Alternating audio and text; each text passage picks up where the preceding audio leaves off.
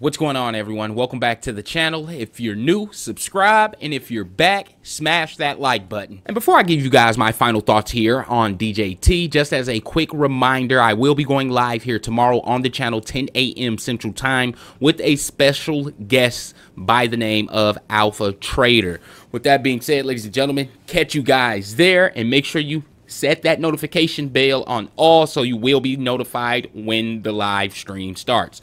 So far as DJT goes, as you all know, we are looking for a gamma squeeze to take place here tomorrow. Now, in order to understand my final thoughts, you must know what is really going on. And only way to understand that, you have to know what a market maker is, ladies and gentlemen, and what is their job. Basically, a market maker is here to keep liquidity in the market. That is why it's you're able to always buy and or sell a stock, all right? And the basically the market maker is making their money on the split. So if we go here and check out related stocks really quickly and we just look at the bid and ask spread, basically the spread between the ask and the bid. So the market maker is basically trying to buy your shares at a $17.36 and they're trying to sell shares at 17.42. These are the two prices that you actually hit that gets your order filled right away. And basically the market maker is making money on that um, difference there. That is basically where they're making their bread and butter. They don't care about if the stock is going up or down. They're basically market neutral with that. So with that being said, knowing that this is the most important thing here.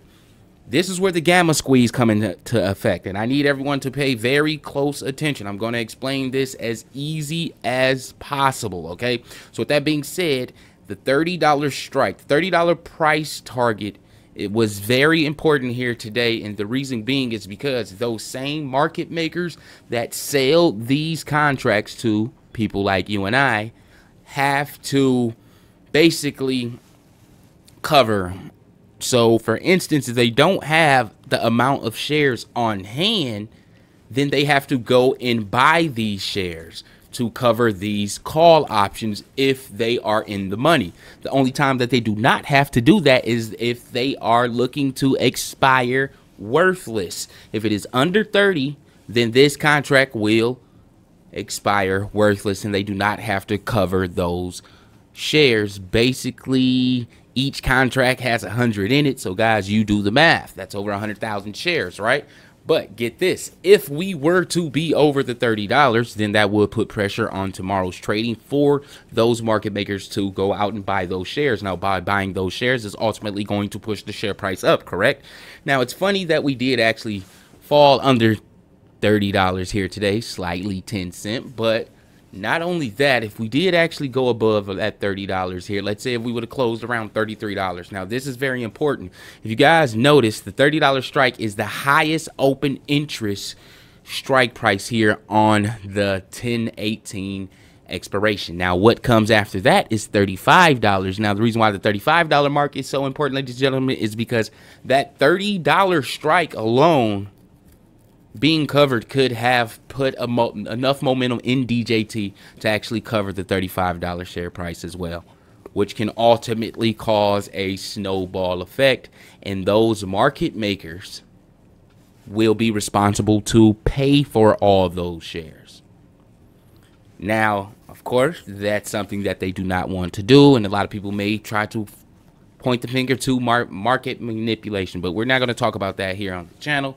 Um, but far as that's basically what's going on here. That's why we slightly fell under um, $30 here. And if we do close above $30 here tomorrow, let's say this thing go around $34.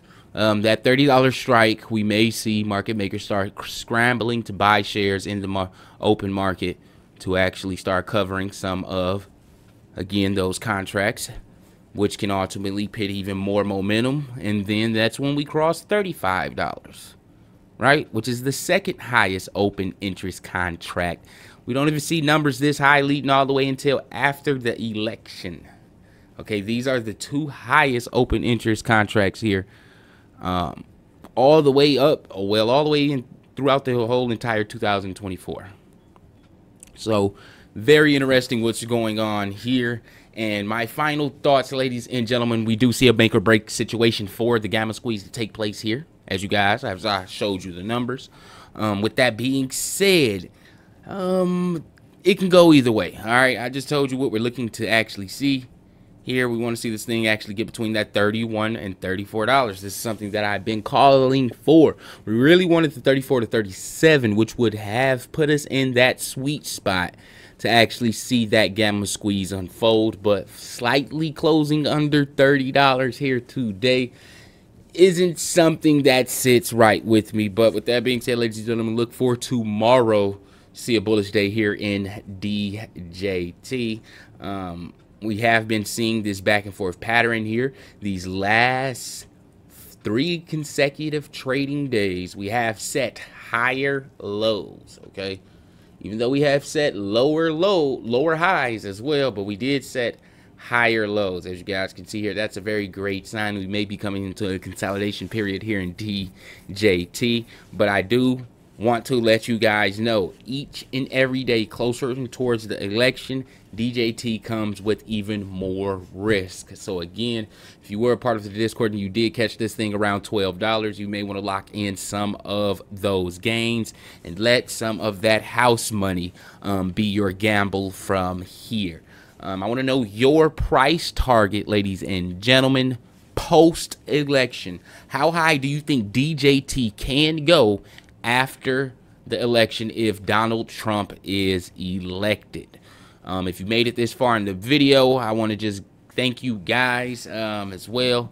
Um, I would know for those that actually do put that price target in the comment section. And like I said before, uh, make sure you guys check out that live stream. I will be going live here tomorrow, okay?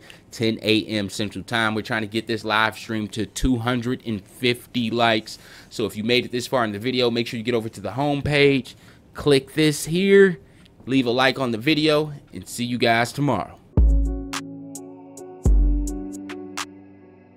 Want to know how to sign up for the Discord? Well, click the video on the left.